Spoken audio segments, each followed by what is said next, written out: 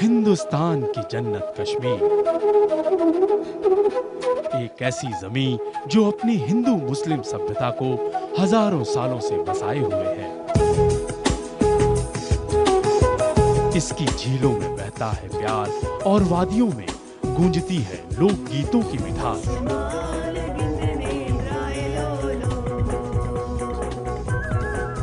बर्फ़ की चादर उड़े, ये जमी देती है अमन और शांति का पैगाम। ये है जन्नत कश्मीर।